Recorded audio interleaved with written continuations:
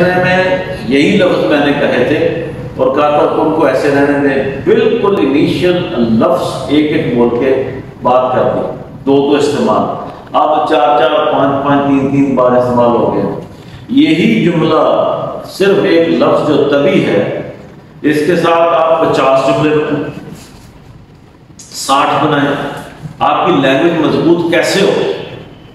आपकी वोकेबलरी कैसे बढ़ेगी? आप ज़रूरी कहीं तो खाने पीने की बातें की हमने, और क्या चाहिए?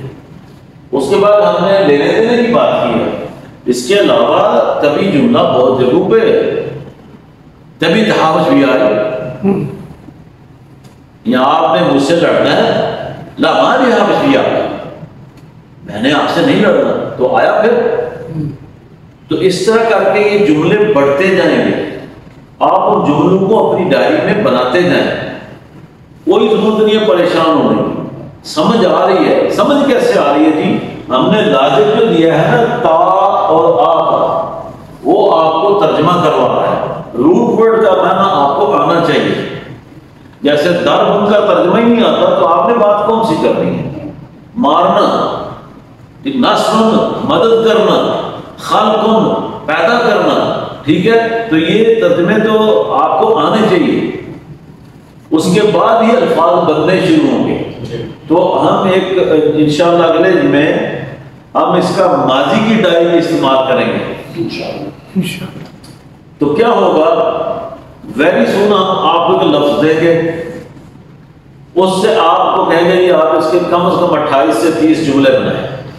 आप बना लें। आप बना लेंगे मैं बनवा दूँगा ना बने तो जी। कुछ लफ्ज भी हमें बता दें नए नए जिसका मैं नहीं सुना हो या नहीं पता हो तो वो भी हमारी भी कैरेक्टर में इजाफा हो जाएगा। तो वो भी बता देते हैं मतलब कुछ लफ्ज हमें मतलब नहीं पता उनका। आपने आपको आप मैंने बताया ना वो रिव्यू का पता था। नहीं पता हो नए भी सारा कुछ एक बार तो नहीं कर सकते। जब मैं वो लिखूँगा तो उसके साथ सारी तरतीब लेके आऊँगा। इंशाल्लाह। ठीक है उसके ऊपर सारे सवाल जवाब। एक लफ्ज आया ना तभी।